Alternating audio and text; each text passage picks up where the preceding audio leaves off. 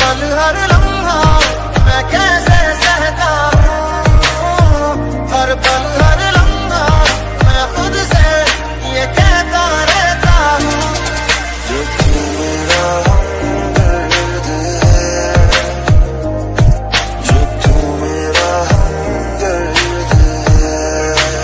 मेरा